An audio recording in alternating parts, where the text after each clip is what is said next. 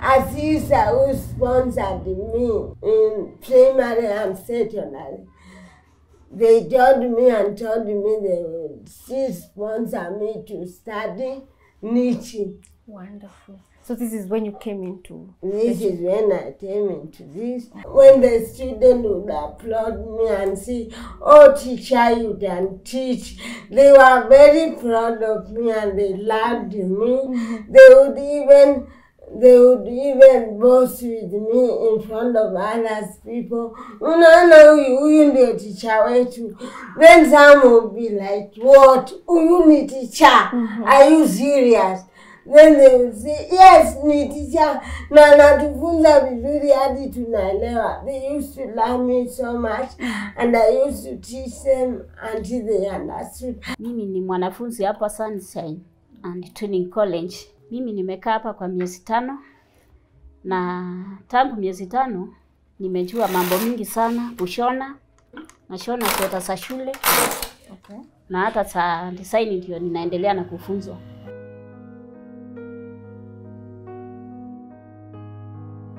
Hapa ndio naishi. Mhm. Hii ndio shopeni huwa nanunua Ah, vitu mhm. kibanda. I live alone, but then mimi naishi peke yangu. The same place tunashonea. Najipikia, najiosha nyumba na vyombo. Like I do everything by myself.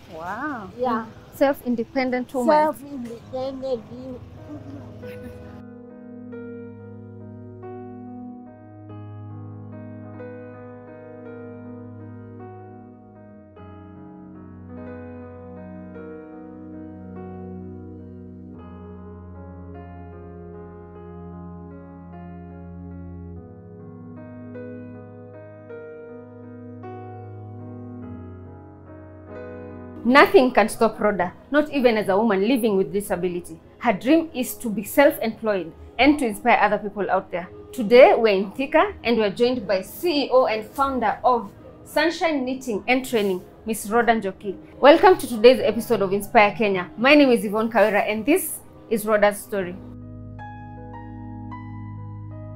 My name is Rhoda Njoki. Yeah, um, I'm physically challenged. As you can see, I worked and taught with challenges, some pronunciation, especially in Swahili, I taught with difficulties. My favorite language is English. That is why I have, I have preferred it. So I'm Rhoda Njoki. My dad was at um, Kamba, Kamba from Kitui. My mom at Kitui from Nakuru. Okay. My mom and dad separated when I was so little. Uh, I was not even watching, I was so little. So I used to live with my mom at Nakuru. At what point did you discover you were different from other your sisters, other children when playing? Were you born like this? I discovered that because sometimes I did talk and people could not understand, and somehow I would feel down. Mm? Some people would look down on me like judging my physical appearance. Like hii huwezi weza because you are this way and I know naweza. Hmm. So it was really a challenge. Mm-hmm. Yeah. How was life growing up in Nakuru? Mhm. Life growing up, it was due because I was with my mom. But when I was 12 years in class two, my mom passed away. And that's where my misery began. Uh, when my mom passed away, life wasn't easy. She was buried at Kitui. So I had to be left at Kitui with my dad. So after one year, my dad gave me away to my brother. My brother, my brother lives at at Kilimambogo here at Riga, Kilimambogo. So my brother had a wife and a daughter. Mm, and life wasn't easy there. Would you like to explain to us what some of the challenges that you experienced while living with them? uh -huh. I felt so different because uh, I knew there was that space, there was that emptiness of motherly love, which I never got. I felt like she treated me different from her daughter because I wasn't her. But um, Really love her and I've forgotten. I've forgotten maybe things that uh, I, I to do, although they were not those stressing, like sometimes I would get food not enough. I can't remember that I wasn't living comfortable. I felt like I needed something. I needed a mother. I needed a parent to fill that emptiness. Maybe that is why I felt like she treated me differently. But she wasn't really a bad person. Okay. Do you still keep in touch with them? My brothers, well, we don't keep in touch, but her daughter we do. My brother we do sometimes, but it has been long, long since we communicated. Okay. Yeah. But my brother was so loving and was taking care of me. But when he was away, I was living with my brother's wife. Okay. So um, my aunt wasn't living far away from me.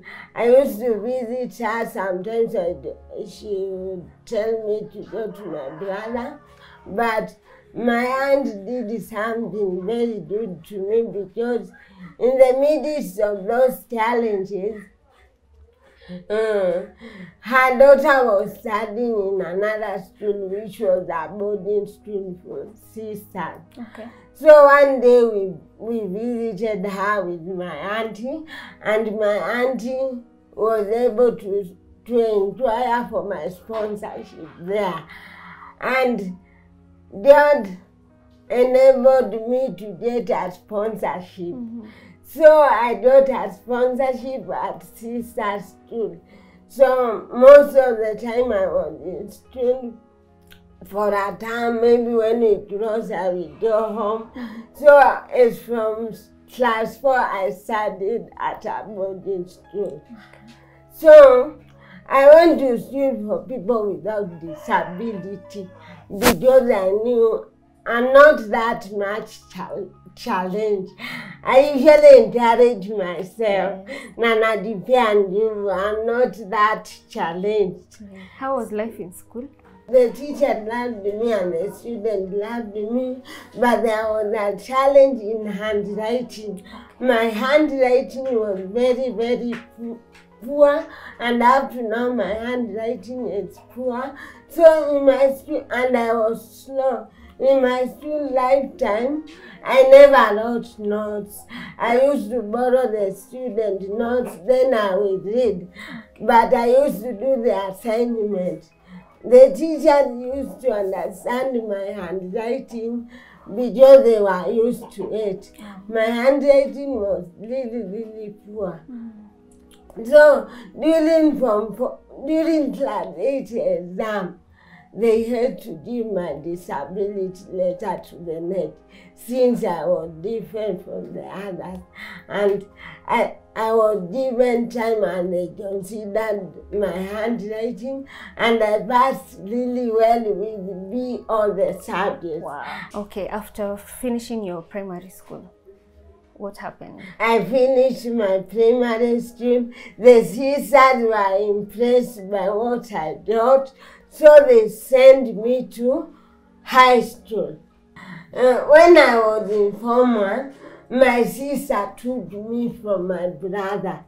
My sister was the one living with me. Okay. And in my sister, I found joy, and she treated me like her daughter. My sister loves me so much. She provides me with everything I need.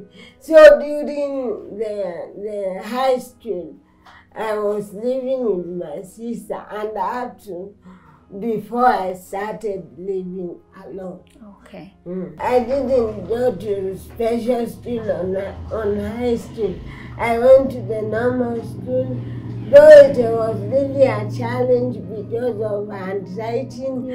I was still asking notes from my friend. I wasn't able to write notes. Mm-hmm. So they would give me a read and I used to do well in class exam.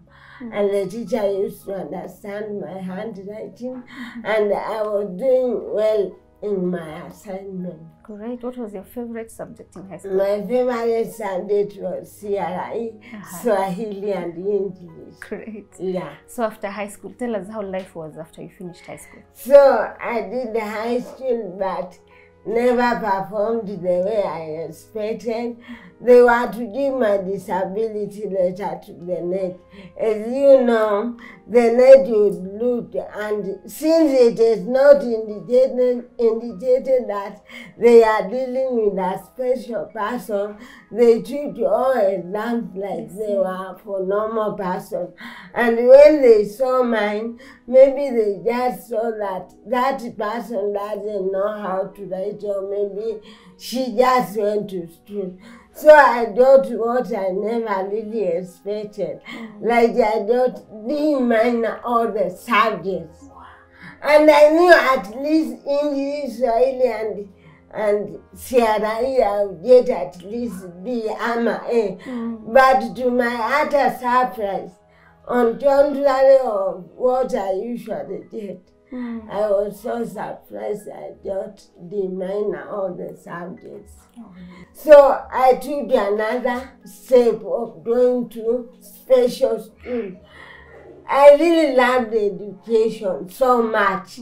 And I wanted to have a bright future. I had a dream of being a manager, managing something. I went to Joy Town to repeat. Joy Town is here in Thika, mm-hmm. a school for for person living with disability. Mm-hmm. So I went there so that they could at least check my handwriting. So when I went to, to register in that school, the principal there rejected me due, due to my previous performance. Really begged her and even cried out for her to give me, to her to give me a, a chance to at least repeat and prove myself that I'm able to reach my dream. The principal told me, no, we are not going to accept you with this performance. So I had no choice than join a training center. But let me tell you that God always knows where, what, what is best for us. So, as Isa who sponsored me in primary and secondary, they told me and told me they would still sponsor me to study knitting. Wonderful. So this is when you came into. This is when I came into this. Tell us about knitting, uh, the training for knitting, and why you decided to make it a business. When you see now I have been I have been rejected at high school with person for disability. So I had no choice than try this. It wasn't my passion at first, but I had no choice. So it was the only option I had. When I went to training, I used to despise myself so much. I used to look down on myself. Sometimes I would sit by myself and feel so bad because I was studying with people who never even went to high school. Some reached class two, some five, eight. So I used to say, why did I spend all those years trying to read and all that, only to end up in the training center? So I used to despise it. But in time I learned it and I accepted it as a source of the living. Yeah. So tell us now about how you decided to make it this a training institute for for students who want to learn knitting. Mhm. So, mm, when I learned knitting, uh, after graduating now from knitting, after I had finished knitting, uh, first of all, I had nothing to do. I was so idle since, I didn't have the machine. So I decided to learn the computer. Computer, this is the computer. The packages. This is my work of publisher. Okay. Ah, This is my work of publisher. mhm. This is So I still had the passion to have another job beside knitting. nice. So when I did publisher, I tried looking for job to do with the computer, which I never got. So I I got the machine, and when I got the machine by those days, I got one student. That one student I used to teach, and she would understand. I would just I would just slow by slow teaching step by step. And I had a passion in teaching, and it was my best. Let me ask Teaching you, was my best. who helped you buy these machines? Did you get support from probably the sisters or? How- Yeah, uh-huh. sisters supported. Okay. And then now, when did you start this training institute here? Now after after dating a student and now I know how to, to teach and I've discovered my talent. Mm. I was employed at first before I started this I was employed mm-hmm. as a knitting teacher. So when I was employed as a knitting teacher, uh, I used to have 11 students. The mamas and they were they used to love knitting. They used to love how i teach and i would teach step by step and they would understand What's the name of the school where you went for the training to learn how to knit? salamiano training training center Okay. What inspired you to start this business as a self-employed person and also to impact the skills to other people? hmm When I knew that I was really good in teaching, and when the teacher would applaud, when the student would applaud me and say, Oh, teacher, you can teach, they were very proud of me and they loved me. They would even they would even boast with me in front of others people. Unaona huyu huyu ndio teacher wetu.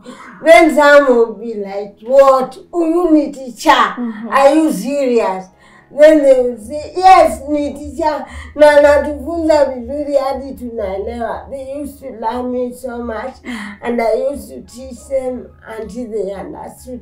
And there by then I discovered that my talent was really good in hmm. teaching. And so I preferred having my own school of teaching. My own school of teaching hmm. and because the salary was really little too, I also wanted to depend on myself. Not to beg, not to depend on my sister. I wanted to be fully independent. So I decided to start my own training center. My vision was big. I used to see myself having so many students. Mm-hmm.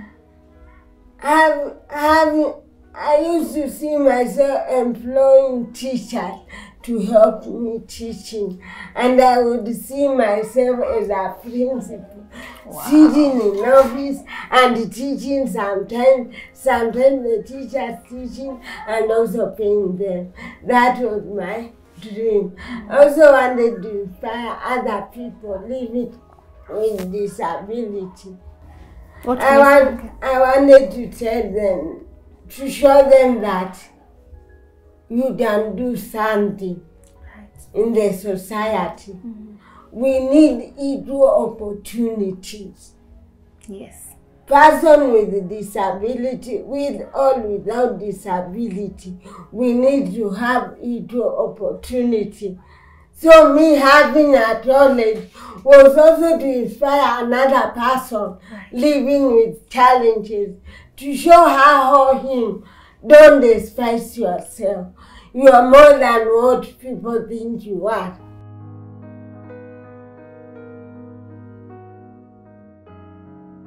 What are some of the challenges you've encountered while you're doing this business? So when I was doing this, when I'm doing this business, since ever I started, the challenges are I never got the student as I expected. I only got two students and one was told that job alikuwa amesimamishwa so alirudi tena job, na huyu mwingine ndio bado nafunza, analipa sometimes, sometimes ana pesa, so namfunza tu voluntarily ndio akimaliza maybe tunaenda saidiana tushona, nikiwa na oda saa zingine tunasaidiana tunauza tunagawana pesa. So the challenge ni ile, hata nyumba sijaweza kujilipia, bado nalipiwa na maesisa sister yeye ndio unilipia na sometimes ana challenge juu kazi yake si stable, lazima alipe hiyo yake ndi anilipie, na yake sio stable, so ana swing sana ndi anilipie.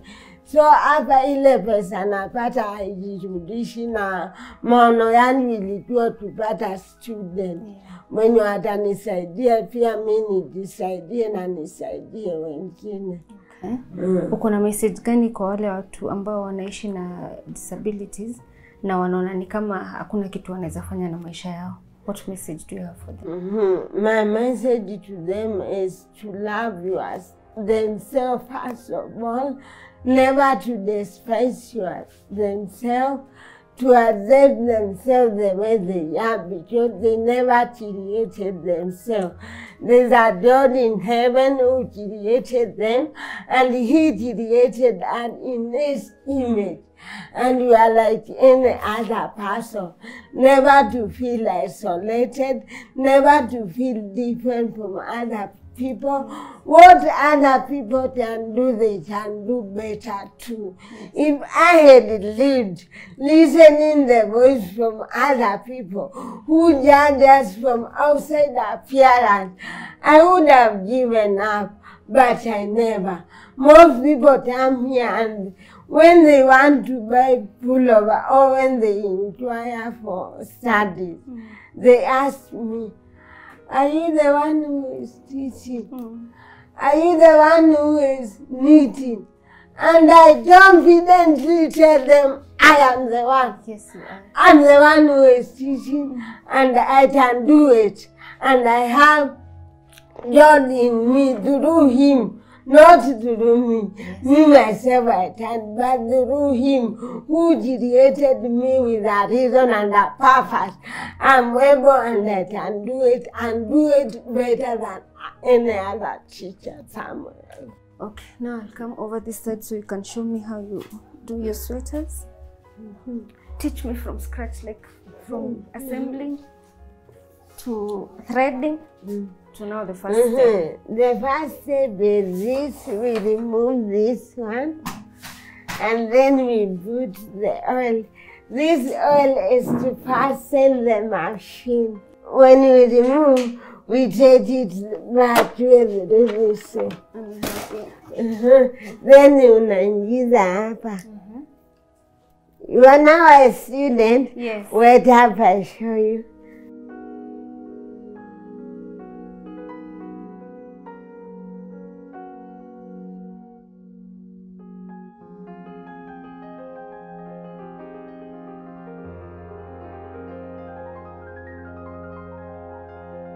No, this one is a is a machine. This one are the needles. the needles I used to knit. Isn't it in a shona, isn't the needle? This the white thing is a ruler. A ruler is numbered from zero to ten, then from zero to ten. So the whole machine had two hundred needles, and the whole machine is from 10 to 0 and from this one to 0. So Jambo started the 2 and a half, this side dash 2 and a half, this one. So not under the needles from 2 and a half, Okay. two and a half. Unatoa needle up to, Two and a half. up to two and a half.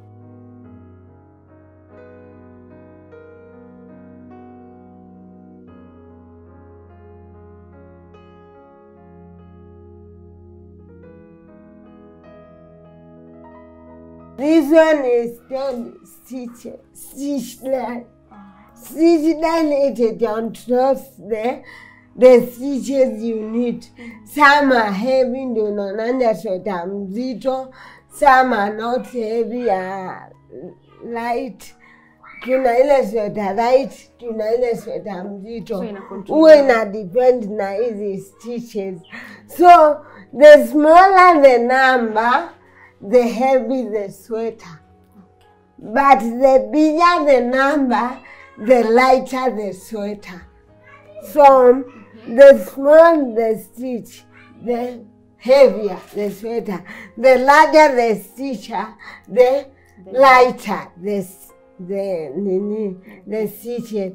But I prefer I prefer using the small number so I would get the heavy one and so that the people would love my work. Kwa majina naitwa Purity na nimeokoka. Mimi ni mwanafunzi hapa Sunshine and Training College. Ulianza kusomea pale? Mimi nimekaa hapa kwa miezi tano na tangu miezi tano nimejua mambo mingi sana kushona. Nashona sweta za shule Okay. Na hata saa design ndio ninaendelea na kufunzwa. Okay. Yeah. Unaweza sema experience yako hapa imekuaje? Masomo yako vipi? Mwalimu wako aje? Ah, experience yangu hapa imekuwa mzuri, masomo iko sawa, mwalimu ni mzuri, anaeleza, unaelewa vizuri.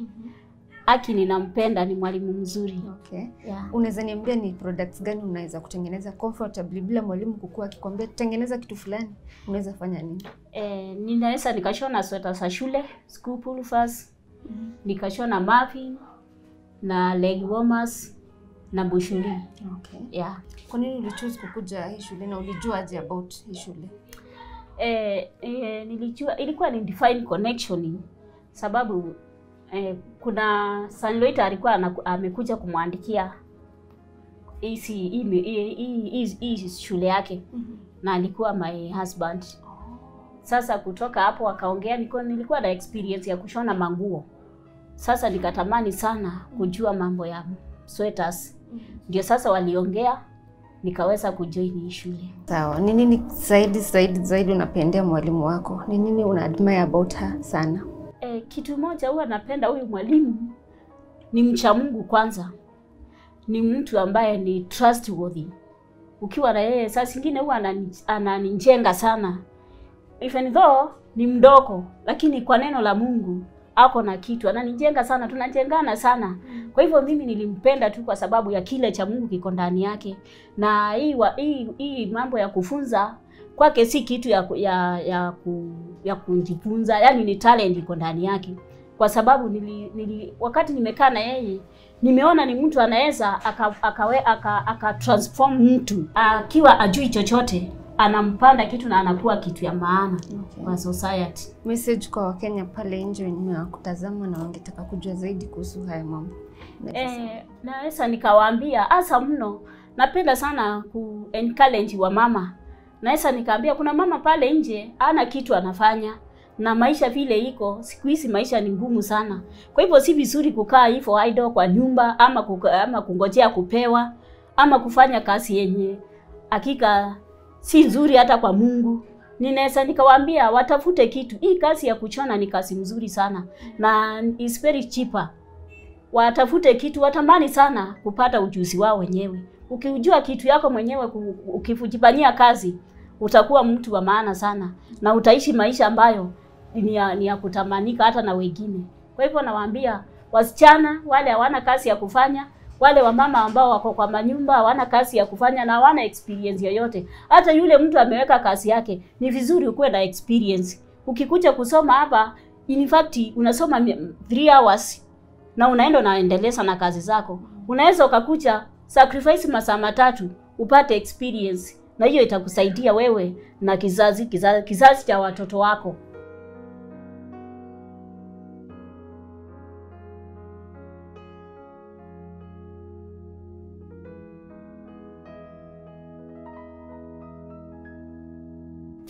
Nini ingine unatengenezanga hapa other than kutrain watu? Uh-huh. I need pullovers, baby suit, leg warmers, Marvin Boshori, design for boys, different design. I don't have the red, that's why sijatengeneza nyingi. Kutengeneza sweta moja ina how long? Inatedi uh-huh. one day only. That's from scratch mpaka Uh, uh, iishe iishe I can make even one and a half sweater in a day. Uh-huh. Continue, please. yes.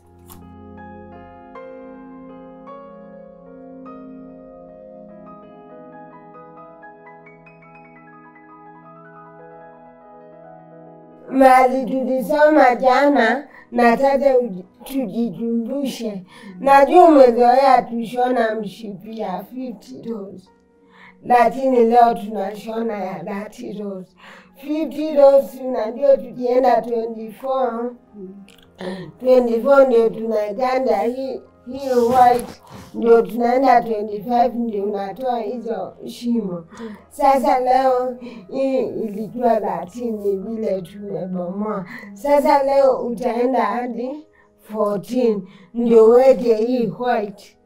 Ukienda 14 uweke hii white, alafu utoe hizi vitu vile tu nilikuonyesha, alafu uende hadi 30 venye nilikuonyesha, alafu ufold. Tumeelewana? Ah, sasa shida hii white uende hadi 14 vile tu nilituonyesha. Ah, endelea tuanze na hii uende hadi 14, sio ni 13. Endelea na hiyo uende hadi 14. Toa vizuri. Ah, ingiza hapo Mhm. Sawa, enda hadi 14. Very good. Ilijua 13 saini 14. Ikiwa 14, we want to make call kama hivi. Si. Sasa tunaweka anadha Hizi unajua ndio mimi Sasa ni anadha. Toa hii anadha uweke mimi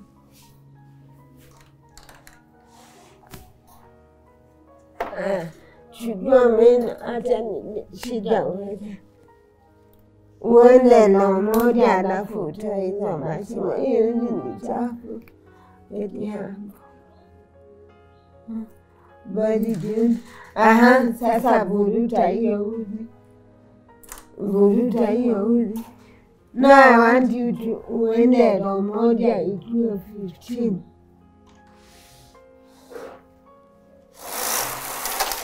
Very good. Now, I want you to make these walls. Vile tu nilikuonyesha hizi zenye unaweza tengeneza.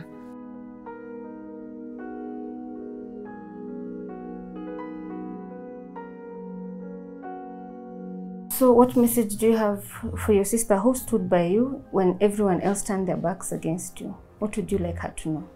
My sister, I really want to appreciate you very much because you treat me as one of your daughter. You give me so much love and you always make sure I have anything that I need. My work is not stable. Sometimes I may get orders, sometimes I may not. I had the expectation of getting more students so I would at least support you, but I haven't been able to. But I really appreciate everything you do for me. I promise you that one day I will stand on my feet and I will do the best to make sure you live a life that you always want me to live. I also want to give you a better life because I know you are also struggling to help me. Not because you are you have many, but you deny yourself so I can get. And it's always my desire that I also deny myself or I also have enough for both of us. And I promise, because our God lives, one day I will have a bigger shop. One day I will have very many students. One day I will support you because I will be a principal and we will live the life we have ever wished. So, what message do you have for Kenyans and how can Kenyans reach you? I just want to tell you that when you see us people with disability, don't judge us by us by our physical appearance. Learn to approach us and know who we truly are. Learn to approach us and know if we can do something that we are we tell you we can do. Don't despise us. We also need the equal opportunity. With or without disability, we need the opportunity to prove ourselves. Beside me having my own business, I also believe I can get opportunity in the society. I also want to be recognized in the society that I'm able to do more than knitting. Knitting could be my leisure time. I could also do other office work, maybe manage something because in the mind I'm intelligent. Also, if you can get some student somewhere and you want me to teach them and you want to bless me with them or you can find a school for me. Uniletee tu shule na uniletee student. I promise i will never fail you. I just want to depend on myself. I want to do something in my with something on myself. I don't want to live a life of begging. If you are also able to support me with dreads, easy news is that you Shona, I would really appreciate any any support I would appreciate and I would pray for me for you because I'm good in praying. What, would, what of Kenyans who want to reach you? Maybe they are looking for a trainer in meeting or to just support you. How can they reach you? You can reach me through this number 07 96 17 68 66. Okay. And where is the shop located? It's located at Vita, mm-hmm. Kiganjo, Kona 2, opposite this supermarket along Buludika Road. Perfect.